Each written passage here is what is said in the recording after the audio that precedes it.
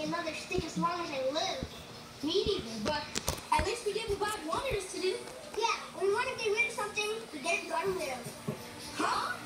I should have gone that, but I don't want to say who's there. That's who I thought was there.